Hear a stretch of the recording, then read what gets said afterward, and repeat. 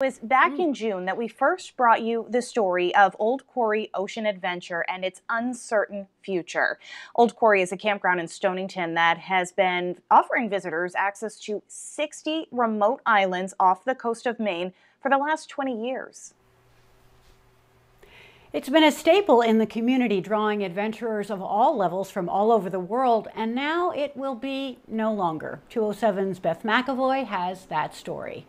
Those little islands right out here, they're just beautiful.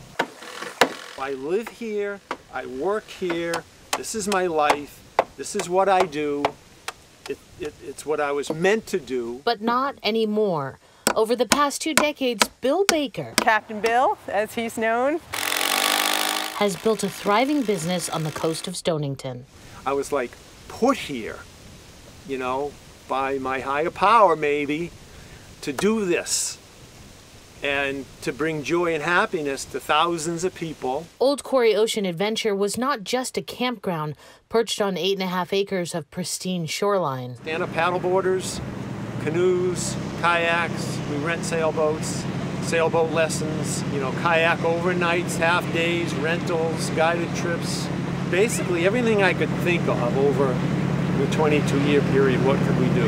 It was a place where anyone regardless of skill, could have a once in a lifetime experience. He offers this set of opportunities and he also sort of empowers people. He teaches people how to kayak. He teaches the guides how to work around here. So he brings so much to um, the concept of getting out to those islands. Bill offered more than 12,000 visitors a year unfettered access to explore a large group of islands, and now that access is lost people call it all sorts of things, but it's an archipelago of about 60 islands that is framed by Isle au Haut and Stonington. An archipelago is a group of islands. You can get to 60 islands in, within a, about a two hour paddle. It is a world class place. One of the arguably best paddling areas for kayakers and, and sailors on the eastern seaboard of the entire United States. Paul Foster Moore has been visiting Old Quarry for the last 15 years and has become a friend to Bill. He's a legend known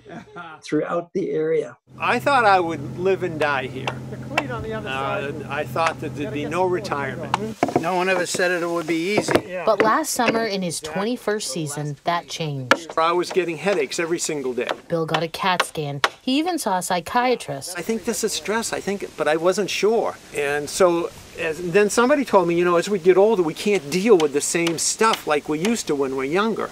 It's harder to deal with, with things. And I said, aha, that makes sense. Within a few days of closing up for the season, Bill says the headache stopped. I just said, I, you know, I got to sell. I can't do this. It's not healthy. That was not an easy decision. Fearing what would be lost. There's always that possibility that the new owner may just make it into a McMansion and close it to the public.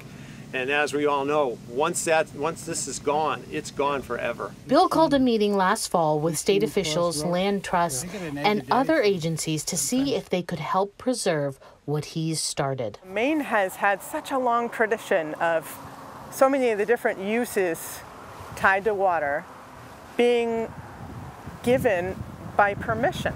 Siona Olbrich of the Maine Coast Heritage Trust was there. People have been able to get to the water to fish or to just recreate or to walk on the beach thanks to generous landowners allowing that, sort of a, a heritage of it. And that's changing because of the pressure on coastal land and the prices of coastal land. Hard to believe that an island town would have limited access to the water, but in Deer Isle, there are only two public access points. Stonington, only three, including Bill's campground. So many entities have spent years trying to work with landowners, because most of those are privately owned, um, to make sure that set of islands keep looking the way it does mostly and has a lot of the islands available for the public to go visit. At the beginning of August, Old Quarry Adventure was sold to a man from New York for reportedly under $2 million. He did not buy the business. Bill Baker and his staff at Old Quarry tell me they're extremely sad. Everybody's like, yeah, Bill, it's you know, this is awesome. It's amazing. Everybody loves it. We know we know how good and important it is, but none of them could uh, it, you know, I guess, get the courage or whatever to, to, to belly up and, and to save it. That lack of being able to give that time makes it nigh impossible for nonprofits to pull together with a solution to such a complex problem.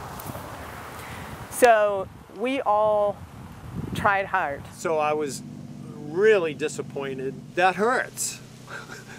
because there's a lot of, you know, a lot of calories and a lot of energy that went into making this place.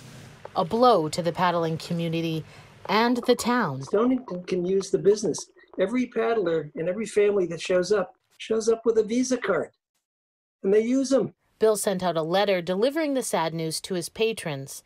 The response, he says, has been overwhelming. So when I started this, I, I never thought that people would thank me for providing ocean access, being here, existing. I, and I hear it literally once a week or more often. Our best memories, our best vacations are from Old Quarry Ocean Adventures. Thank you for having this wonderful campground. I almost want to cry when I read some of those emails. It's like, ugh, and I can't do anything about it. The sale of the land at Old Quarry Ocean Adventures was finalized two weeks ago. In spite of Bill B Baker being disappointed at how things worked out, our Beth, he tells our Beth McAvoy that he does feel a sense of relief and he is enjoying his retirement.